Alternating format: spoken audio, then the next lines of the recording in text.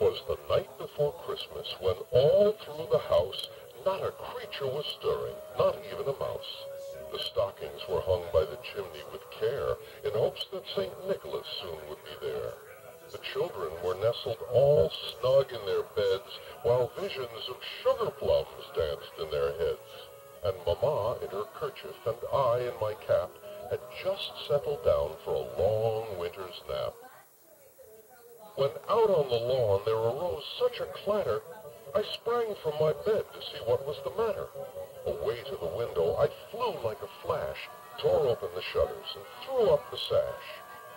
The moon on the crest of the new fallen snow gave a luster of midday to objects below.